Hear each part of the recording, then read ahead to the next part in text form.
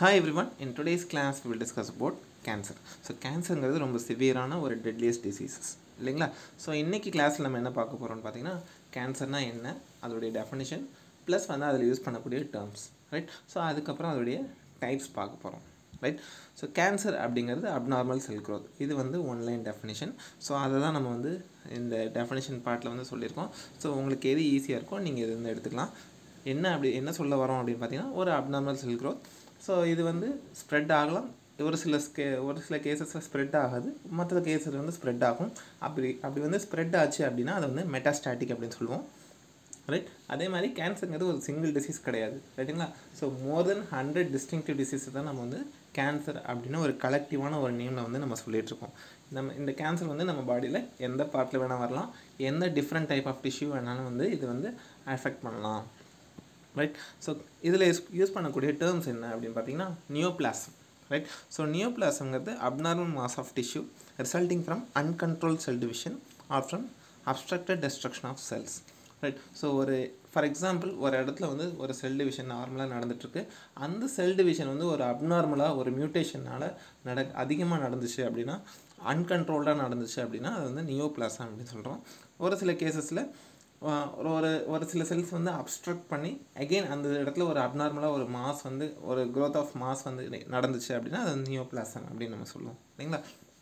Next அதில் types பார்த்திங்கன்னா benign tumour right so பினைன்ங்கிறது non cancerous cell growth which do not invade or spread to the other body parts so பினைன்ங்கிறது ஒரு cancer cells கிடையாது. நான் cancerous cell growth அப்படின்னு சொல்லுவோம். செல் மட்டும்தான் இருக்கும். அது வந்து கேன்சர் செல்ஸ் கிடையாது. இதோடைய இதோடைய ப்ராப்பர்ட்டிஸ் பார்த்திங்கன்னா மற்ற இடத்துக்கு ஸ்ப்ரெட் ஆகாது அப்படின்னு சொல்லுவோம் benign tumour so malignant tumour அப்படிங்கிறது ஒரு cancerous cell undefined and unpredictable cellular growth so இந்த இந்த மேலிக்னன் டியூமர் தான் நம்ம வந்து கேன்சரஸ் செல்ஸ் அப்படின்னு சொல்கிறோம் இதோடைய க்ரோத் வந்து பார்த்திங்கன்னா ரொம்ப அன்டிஃபைன்டாக இருக்கும். அதே மாதிரி we cannot predict the cellular growth right so invades invades nearby tissues and organs by lymphatic or circulating system மற்ற பக்கத்தில் இருக்கக்கூடிய ஆர்கன்ஸ்க்கு எப்படி? ஃபார் எக்ஸாம்பிள் லிவரில் ஃபார்ம் ஆகுது. எப்படி வந்து லங்ஸ்க்கு போகும் அப்படின்னு நமக்கு ஒரு கொஷின் வரும் இல்லைங்களா? ஸோ அந்த அது எப்படி போகுதுன்னு பார்த்தீங்கன்னா ஒரு சர்க்குலேஷன் பிளட் மூலியமாகவோ இல்லைன்னா ஒரு லிம்ஃபாட்டிக் சர்க்குலேஷன் மூலியமாகவோ போகக்கூடிய சான்சஸ் வந்து இருக்குது டூ டைப்ஸ் இதில் வந்து சொல்கிறோம் ஒன்று வந்து சாலிட் டியூமர் இன்னொன்று வந்து ஹெமட்டாலஜிக் கேன்சர் அப்படின்னு சொல்லிட்டு ரெண்டு டைப்ஸ் இருக்குது ஸோ அடுத்து யூஸ் பண்ணக்கூடிய காமனான டேர்ம் என்னென்னு பார்த்தீங்கன்னா கேர்சனோஜெனிசிஸ் ஆர் டியூமரோஜெனிசிஸ் அப்படின்னு சொல்லுவோம். ஸோ கேர்சனோஜெனிசிஸ் அப்படிங்கிறது என்னென்னா process in which normal cell is converted to cancer cells so இது வரைக்கும் அப்நார்மலாக செல் க்ரோத் ஆச்சு. அது வந்து நம்ம கேன்சர் சொல்லிட்டுருந்தோம் இருந்தோம். அது நியோபிளாசமில் பொறுத்த வரைக்கும். கார்சனோஜெனிசிஸ் வந்து ஒரு ப்ராசஸ் இந்த ப்ராசஸில் என்ன நடக்குது அப்படின்னா நார்மலாக இருக்கக்கூடிய செல்ஸ் வந்து கேன்சர் செல்ஸாக வந்து மாறுது. ரைட் ஸோ மெட்டாஸ்டாட்டிக் அப்படிங்கிறது நம்ம ஆல்ரெடி டெஃபினேஷனில் பார்த்துட்டோம். ஸ்ப்ரெட் ஆச்சுன்னா அதுக்கு பேர் வந்து மெட்டாஸ்டாட்டிக் ஒரு ஒரு இடத்துல ஃபார்ம் ஆகும். அந்த ஃபார்ம் ஆனது மற்ற இடத்துக்கு ஸ்ப்ரெட் ஆச்சு அப்படின்னா அது வந்து மெட்டாஸ்டாட்டிக் அப்படின்னு சொல்லுவோம். Tumours at the secondary sites are call metastatic tumours so for example இப்போ வந்து லிவர் இருக்குன்னு வச்சுக்கோங்களேன். அதோடைய அசசரி ஆர்கன்ஸ் அதோட சுற்றி இருக்கக்கூடிய ஆர்கன்ஸ்க்கும் ஸ்ப்ரெட் ஆச்சு அப்படின்னா அது வந்து செகண்டரி சைட்ஸ் அப்படின்னு வந்து நம்ம வந்து டேர்மில் சொல்கிறோம் நெக்ஸ்ட்டு கிளாஸிஃபிகேஷன் ஸோ கிளாஸிஃபிகேஷனில் வந்து பார்த்திங்கன்னா நிறைய கிளாஸிஃபிகேஷன் இருக்குது இந்த இடத்துல நீங்கள் வந்து கன்ஃபியூஸ் பண்ணிக்கூடாது ஸோ நம்ம இந்த கிளாஸில் வந்து என்ன எடுத்துக்கிட்டோம் அப்படின்னா நமக்கு வந்து டைப் ஆஃப் டிஷ்யூ இன்வால்வ் என்ன என்ன டைப் ஆஃப் டிஷ்யூ வந்து இன்வால்வ் ஆகிருக்கு ஸோ அதை பொறுத்து நம்ம வந்து டை இந்த கிளாஸிஃபிகேஷன் எடுத்துருவோம் இது போக நிறைய டைப்ஸ் இருக்குது ஸோ நம்ம ஒரே ஒரு கிளாஸிஃபிகேஷன் எடுத்துருவோம் என்னென்னா எந்த டை எந்த டிஷ்யூ வச்சு பேஸ் பண்ணி நம்ம கிளாஸிஃபை பண்ணுறோம் base on the type of tissue right so first one பார்த்தீங்கன்னா carcinoma is from the surface glandular or parenchymal epithelium so நம்ம செல்லோட டிஷ்யூவோட சர்ஃபேஸில் வருது இல்லைங்களா? ஃபார் எக்ஸாம்பிள் கிளாண்ட்ஸில் இல்லைன்னா பேரன்கைமல் எபித்தீலியல் செல்ஸில் வந்துச்சு அப்படின்னா அது வந்து கார்சினோமா அப்படின்னு சொல்கிறோம் ஸோ அதோடைய எக்ஸாம்பிள்ஸ் என்னென்ன? Transitional cell carcinoma of bladder so urinary பிளாடரில் வருது இல்லைங்களா? அது வந்து டிரான்சிஷனல் எபித்தீலியமில் வந்துச்சுன்னா அது வந்து டிரான்சிஷனல் செல் கார்சினோமா அப்படின்னு சொல்கிறோம் adenocarcinoma of pancreas so இது வந்து கிளாண்டுலார் செல்ஸ் வந்து இன்வால்வ் ஆயிருக்கு. Next squamous cell carcinoma of oesophagus so ஈசோஃபேகஸில் கூட அந்த ஸ்குவாமஸ் எபிதிலியம் லேயர் வந்து அந்த லேயரில் வந்து கேன்சர் வந்து ஃபார்ம் ஆச்சு அப்படின்னா அந்த ஸ்குவாமஸ் செல் கார்சினோமா அப்படின்னு வந்து நம்ம நேம் பண்ணுறோம் நெக்ஸ்ட்டு சார்க்கோமா ஸோ இப்போ வந்து நம்ம எபித்திலியல் செல்ஸில் பார்த்தோம் இல்லைங்களா? Parenchymal epithelial cells or glandular cells வந்து நம்ம பார்த்தோம். இந்த இடத்துல சார்க்கோமால என்ன வருதுன்னு பார்த்தீங்கன்னா primary tissues other than the glandular or parenchymal epithelium அதாவது இப்போ ஃபஸ்ட்டு டைப்பை தவிர மற்ற இருக்கக்கூடிய ப்ரைமரி டிஷ்யூஸ் இருக்கு இல்லைங்களா? அதில் வந்துச்சு அப்படின்னா நம்ம வந்து சார்க்கோமா அப்படின்னு சொல்கிறோம் ஃபார் எக்ஸாம்பிள் கான்ட்ரோ சார்க்கோமா ஃபைப்ரி அந்த காட்லேஜ் மேலிக்னசி ஃபைப்ரோ சார்க்கோமா அப்படின்னா ஃபைப்ரோ பிளாஸ்ட் மேலிக்னசி ஸோ இது எல்லாமே எந்தெந்த டைப் ஆஃப் டிஷ்யூ இன்வால்வ் ஆகிருக்கு அந்த டிஷ்யூக்கு தகுந்த மாதிரி ஒரு எக்ஸாம்பிள் நம்ம கொடுத்துருக்கோம். Next leukaemia right so leukaemia அப்படிங்கிறது நம்ம தெரியும். ஸோ லு லுக்கோசைட்ஸ் இல்லைங்களா? ஸோ லுக் ஒரு டபிள்யூபிசி வந்து டெவலப் ஆகுதுங்கன்னா ஸோ அந்த ட டபிள்யூபிசி எதுலேருந்து டெவலப் ஆகும்? அதோடைய ப்ரீக்கர்சர் இருந்து டெவலப் ஆகும். ஸோ அந்த பிளட் ஃபார்மிங் டிஷ்யூஸில் வந்துச்சு அப்படின்னா அது வந்து லுக்கீமியா அப்படின்னு சொல்கிறோம் it's a very very very deadly disease இது ரொம்ப வந்து சிவியரான ஒரு கேஸ் அப்படின்னு சொல்லுவாங்க. ஸோ டபிள்யூபிசி ப்ரிகர்சர்ஸ் வந்து அப்நார்மலாக மல்டிப்ளை ஆக ஆரம்பிச்சிடும் ஸோ அது வந்து போன் மேரோ டிஃப்யூஸ் பண்ணி எகெயின் வந்து அந்த கேன்சர் செல்ஸ் வந்து மல்டிப்ளை ஆக ஆரம்பிக்கும். ஸோ நார்மல் நார்மல் செல்ஸை வந்து ரீப்ளேஸ் பண்ணிடும் ஸோ அப்படி ரீப்ளேஸ் பண்ணிவிட்டு சர்க்குலேஷனுக்குள்ளே வந்துடும் ஸோ சர்க்குலேஷனில் வந்து அப்நார்மல் செல்ஸ் வந்து அது அக்யூமுலேட் ஆக ஆரம்பிச்சிடும் நம்ம பிளட்டில் ஸோ இதான் வந்து லுக்கீமியாவில் நடக்கக்கூடியது. நல்லா ஞாபகம் வச்சுக்கோங்க. லியூகோசைட்டோசிஸ் அந்த டபிள்யூபிசி ஃபார்ம் ஆகுது இல்லைங்களா? ஸோ அதுக்கு தேவையான ப்ரிக்கர்சர் செல்ஸில் வந்து வந்துச்சு அப்படின்னா நம்ம லுக்கீமியா அப்படின்னு சொல்கிறோம் இந்த ஸ்டேஜில் என்ன நடக்குது அப்படின்னு பார்த்தீங்கன்னா டபிள்யூபிசி ப்ரீகர்சர்ஸ் ஆல்ரெடி நம்ம பாடியில் இருக்குது ஸோ அந்த ப்ரீகர்சர் செல்ஸ் வந்து பார்த்திங்கன்னா ஒரு ஒரு அப்நார்மலாக மல்டிப்ளை ஆரம்பிச்சிடும் ஏதோ ஒரு ஸ்டிம்லைக்காக ரைட்டுங்களா ஒரு எக்ஸ்டர்னல் ஸ்டிம்லை ஒரு ரேடியேஷனாக இருக்கலாம். எனி அதர் காசஸ் ஒரு எக்ஸ்டர்னல் காஸ்னால அந்த ப்ரிக்கர்ஸ் வந்து அப்நார்மலாக மல்டிப்ளை ஆரம்பிச்சிடும் அதுக்கப்புறம் பார்த்திங்கன்னா அந்த மல்டிப்ளை ஆன செல்ஸ் வந்து போன் மேரக்குள்ளே போகுது. போன் மேரக்குள்ளே போய் ஃபர்தராக வந்து மல்டிப்ளை ஆகுது. மல்டிப்ளை ஆனதுக்கப்புறம் நார்மல் செல்ஸை வந்து அந்த கேன்சர் செல்ஸ் வந்து ரீப்ளேஸ் பண்ணிடுது. அப்படி ரீப்ளேஸ் பண்ணதுக்கப்புறம் அது நார்மலாக சர்க்குலேஷனுக்குள்ளே வருது.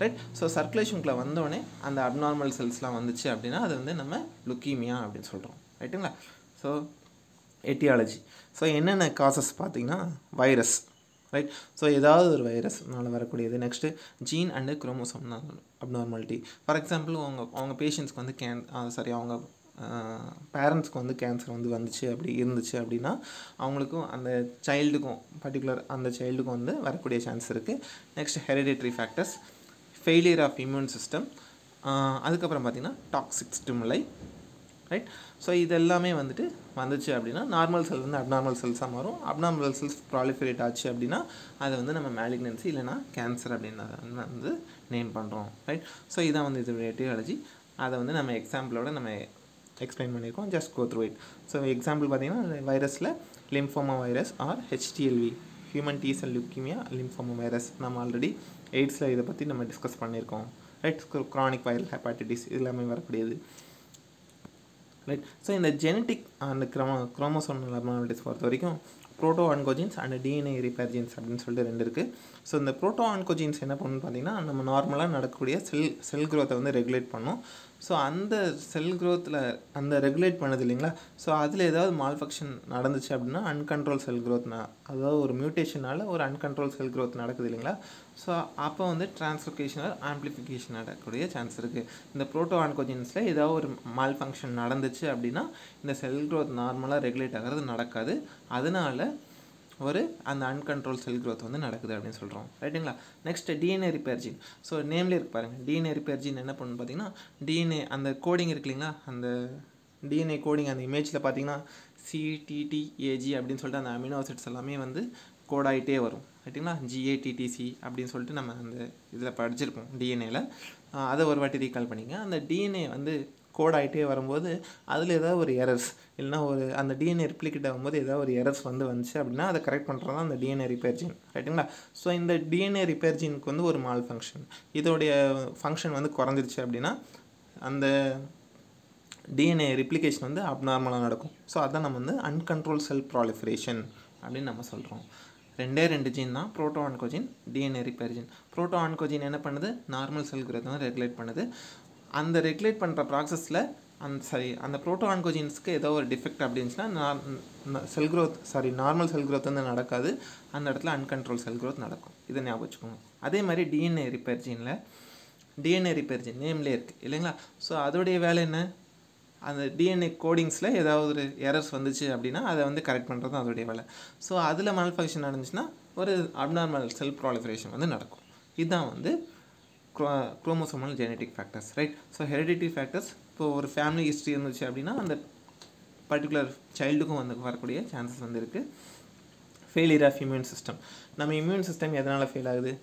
வேரியஸ் என்விரான்மெண்டல் ஃபேக்டர்ஸ் இல்லைங்களா? அதாவது ஒரு பொல்யூட்டட் ஸ்டேட்டில் இருப்பாங்க. ரொம்ப வந்து பார்த்திங்கன்னா அவங்க அவங்களோட நெய்பர்ஸ்லாம் ஸ்மோக் பண்ண சான்சஸ் இருக்குது அவங்க பண்ணுற ஒர்க்கு ஒர்க் ஸ்டேஷனில் ஏதாவது இஷ்யூஸ் இருக்கலாம். லெபார்ட்டரிஸில் ஒரு அயனைசிங் ரேடியேஷன்ஸில் அவங்க ஒர்க் பண்ணுவாங்க. அந்த மாதிரி ஒரு என்விரான்மெண்டல் ஃபேக்டர்ஸ் அது என்ன பண்ணும்? நம்ம பாடியில் இருக்கக்கூடிய நடக்க நார்மலாக நடக்கக்கூடிய செல்ஸை வந்து மியூட்டேஷனை வந்து இன்டியூஸ் பண்ணிடும் ஸோ அப்போ வந்து அப்நார்மல் செல் ப்ரோட்டீன்ஸ் வந்து ஃபார்ம் ஆகும். ஸோ அந்த அப்நார்மல் செல் ப்ரோட்டீன்ஸ் வந்து நம்ம இம்யூன் சிஸ்டம் வந்து அதை வந்து சரியாக வந்து ரெக்கக்னைஸ் பண்ணாது. சரிங்களா? ஸோ அதனால அப்நார்மல் செல் ப்ரோலிஃபரேஷன் வந்து நடக்கும். அதர் ஃபேக்டர்ஸ் என்னென்ன? ஹார்மோன்ஸ் ரைட்டுங்களா நம்ம பாடியில் ஹார்மோன்ஸ் வந்து அப்நார்மலாக செக்ரிட் ஆச்சு. ஒரு கேன்சர் செல்ஸ்னால ஃபாஸ் சாரி அப்நார்மலாக செக்ரீட் ஆச்சுனாலும் கேன்சர் வந்து வரக்கூடிய சான்ஸ் இருக்குது அதோடைய எக்ஸாம்பிள் சொல்லியிருக்கோம். அதே மாதிரி ஒபிசிட்டி ஒரு ரிஸ்க் ஃபேக்டராக வந்து பார்க்குறோம். அதே மாதிரி அயனைசிங் ரேடியேஷன் உங்களுக்கு எல்லாத்துக்குமே தெரியும். இந்த எக்ஸ்ரேயில் படிச்சிருப்பீங்க இல்லையா? ஸோ அந்த ரேஸ் எல்லாமே நம்ம பாடியில் ஒரு அப்நார்மல் மியூட்டேஷன்ஸை வந்து இன்டியூஸ் பண்ண சான்ஸ் இருக்குது அதே மாதிரி கார்சினோஜென்ஸ் டைரக்ட் அண்டு இன்டைரக்ட் அப்படின்னு சொல்கிறோம் டைரெக்டாக வந்துட்டு ஃபார் எக்ஸாம்பிள் ஸ்மோக்கர்ஸ் இருப்பாங்க இல்லையா? ஸோ அவங்க எல்லாமே டைரக்ட் ஏஜென்ட்ஸாக நம்ம பார்க்குறோம். சாரி இந்த இடத்துல ஸ்மோக்கிங் ஏஜென்ட்ஸ் கிடையாது. Directly acting agents right for example not activate in body and become the but may become the carcinogen so இது வந்து நம்ம பாடியில் வந்து ஆக்டிவேட் ஆகிறது கிடையாது. பட் ஆனால் கார்சனோஜனாக மாற சான்ஸ் இருக்குது அதே மாதிரி இன்டைரக்ட் வந்து பார்த்திங்கன்னா ஆக்டிங் ஆர் ப்ரோ கார்சனோஜன்ஸ் அப்படின்னு சொல்கிறோம் இது வந்து நம்ம பாடியில் மெட்டபாலிக்காக வந்து மெட்டபாலிசம் நடக்கும்போது கன்வர்ஷன் ஆகக்கூடியது. நெக்ஸ்ட்டு ப்ரொமோட்டர்ஸ் ஸோ ப்ரொமோட்டர்ஸ் வந்து ஸ்பெசிஃபிக்காக வந்து கேன்சர் காஸ் பண்ணுறது கிடையாது. பட் ஆனால் கார்சனோஜெனிசிட்டியை வந்து இன்டியூஸ் பண்ண சான்ஸ் இருக்குது அதில் இருக்கக்கூடிய கெமிக்கல்ஸ் லைக் சிகரெட்ஸில் வந்து பார்த்திங்கன்னா நிக்கோட்டின் இருக்கு இல்லைங்க அது வந்து ஸ்டிமுலேட் பண்ணும் கார்ஸ்டோஜெனிசஸ் ரைட் ஸோ இது வரைக்கும் நம்ம டைப்ஸ் அண்ட் எட்டியாலஜி வந்து பார்த்துருக்கோம். சரிங்களா? ஸோ இதில் உங்களுக்கு ஏதாவது டவுட்ஸ் இருந்ததுன்னா யூ கேன் ஆஸ்க் இந்த கமெண்ட் பாக்ஸ் ஸோ இதில் வந்து லுக்கீமியா அதை பற்றி நீங்கள் தெளிவாக தெரிஞ்சுக்கணும். அதே மாதிரி இந்த டெஃபினேஷன்ஸில் வந்து எல்லாமே எழுதுன அவசியம் கிடையாது. உங்களுக்கு எந்த டெஃபினேஷன் வந்து ஈஸியாக இருக்கோ அதை வந்து நீங்கள் எழுதிக்கலாம். Right So that's all about today's class. In case of any doubts, you can ask in the comment box. Thank you.